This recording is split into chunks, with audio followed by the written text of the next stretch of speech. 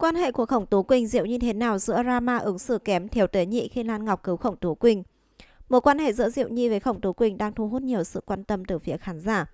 Sau khi tập mới nhất của chương trình thực tế Chị đẹp đạp gió rẽ sóng lên sóng, cư dân mạng nói nhiều về khoảnh khắc Diệu Nhi đứng khoanh tay, tỏ thái độ thờ ơ khi Lan Ngọc cứu Khổng Tú Quỳnh. Tuy nhiên thực tế thì mối quan hệ giữa Diệu Nhi Lan Ngọc Khổng Tú Quỳnh khá tốt. Trên mạng xã hội trong một khoảng tháng gần đây, Diệu Nhi Khổng Tú Quỳnh Lan Ngọc vẫn thường gặp nhau và chia sẻ khoảnh khắc vui vẻ lên trang cá nhân.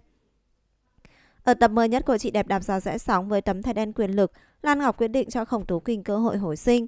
Sau khi Lan Ngọc nắm tay đưa Khổng Tú Quỳnh trở lại phòng chờ, các chị đẹp khác đều chạy đến ôm lấy bé dâu tây, chỉ có duy nhất Diệu Nhi đứng yên tại chỗ khoanh tay nhìn về phía các chị đẹp khác.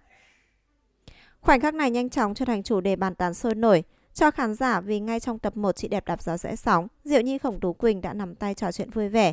Hai người đẹp không ngại kết giao như những người bạn rất tâm đầu ý hợp. Thế nhưng đến lúc Khổng Tú Quỳnh bật khóc vì được cứu vào phút chót, Diệu Nhi lại không vồ vập thể hiện tình cảm. Cư dân mạng chỉ trích Diệu Nhi thiếu tế nhị, không ứng xử khéo léo khi cần thiết. Dẫu vậy nhiều khán giả vẫn cho Diệu Nhi có lý do để đứng yên một chỗ bởi thời điểm đó Diệu Nhi đang bị sốt cao, cô phải lấy chăn trùm lên người để bớt lạnh. Đến lúc chọn bài hát và chọn đội, Diệu Nhi cũng không nói cười vui vẻ như những vòng thi trước. So mối quan hệ của Diệu Nhi Khổng Tú Quỳnh ngoài đời thực, khán giả càng yên tâm hai cô nàng không hề có bất cứ mâu thuẫn nào. Cùng thời điểm Vương ồn ào thờ ơ với Khổng Tú Quỳnh, Diệu Nhi còn đăng ảnh cùng bé dâu Tây đi làm đẹp. Nữ diễn viên tỏ ra khá thoải mái và vui vẻ.